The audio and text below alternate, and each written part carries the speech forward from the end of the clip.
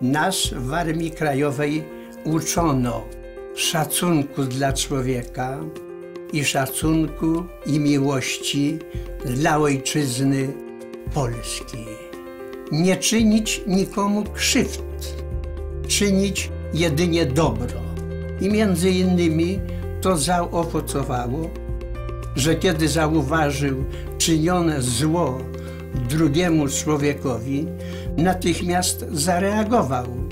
I to zareagował osobiście i z synem, co także jest bardzo miłe i sympatyczne, bo bardzo wychowawcze. Bogdan Stanisław Kwiatkowski jest kapitanem żeglugi śródlądowej. W stanie wojennym angażował się w działalność podziemną. W swoim rodzinnym domu drukował ulotki, plakaty i pismo solidarnościowe Braterstwo, którego był pomysłodawcą, redaktorem, drukarzem i kolporterem. Malował patriotyczne hasła, brał udział w ulicznych manifestacjach. Był zatrzymywany i bity przez ZOMO, skazany na dwa miesiące więzienia. Jest społecznikiem. Od 16 roku życia angażuje się w ratownictwo Wodnego Ochotniczego Pogotowia Ratunkowego. Jako dowódca sekcji przewodników psów ratowniczych Ochotniczej Straży Pożarnej brał udział w kilkudziesięciu akcjach ratowniczo-poszukiwawczych. W 2010 roku zgłosił się na ochotnika do tworzonych Narodowych Sił Rezerwowych.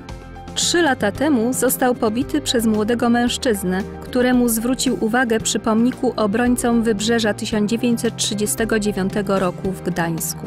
Kwietniu 2012 roku wraz z 13-letnim synem Kacprem pomógł policji aresztować złodziei grasujących w okolicy jego domu. Bogdan Kwiatkowski jest członkiem elitarnego bractwa kaphornowców, żeglarzy, którzy opłynęli przylądek Horn. Myślę, że pan Kwiatkowski dobrze zareagował, kiedy domyślił się, że nieznani mu osobnicy coś złego uczynili drugiemu człowiekowi.